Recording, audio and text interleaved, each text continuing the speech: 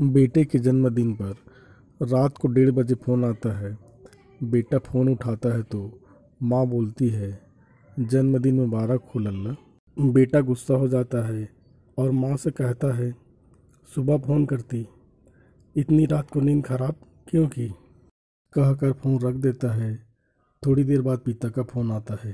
बेटा पिता पर गुस्सा नहीं करता, बल्कि कहता है, सुबह फ़ोन करते। फिर पिता ने कहा मैंने तुम्हें इसलिए फ़ोन किया है कि तुम्हारी माँ पागल है, जो तुम्हें इतनी रात को फ़ोन किया।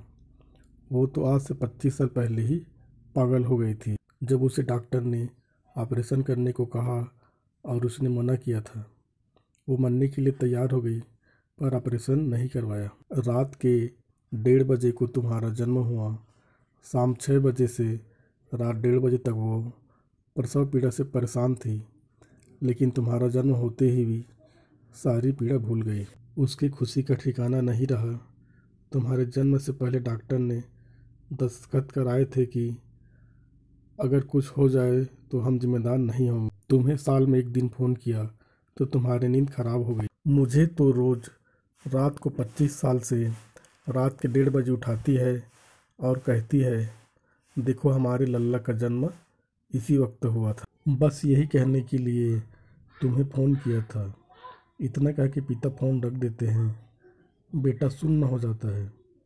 घर जाकर माँ के पैर पकड़कर माफ़ी माँगता है। पर अब तुम चले जाओ। मैं तुम्हारी माँ से कहूँगा कि चिंता मत करो। मैं तुम्हारा हमेशा की तरह आगे भी ध्यान रखूँगा। तब माँ कहती है, माफ़ कर दो जी। बेटा है हमारा। सब जानते हैं दुनिया में एक माँ ही है। जिसे जैसा चाहे कहो फिर भी वो गाल पर प्यार से हाथ फेरेगी। पिता अगर तमाचा न मारे तो बेटा सर पर बैठ जाए। इसीलिए पिता का सख्त होना भी ज़रूरी है। माता पिता को आपकी दौलत नहीं, बल्कि आपका प्यार और वक्त चाहिए। उन्हें प्यार दीजिए। माँ की ममता तो अनमोल है। हेलो दोस्तों, अगर यह कहानी आपको पसंद आए तो चैनल को सब्सक्राइब करो, वीडियो को लाइक करो शेयर करो। धन्यवाद दोस्तों।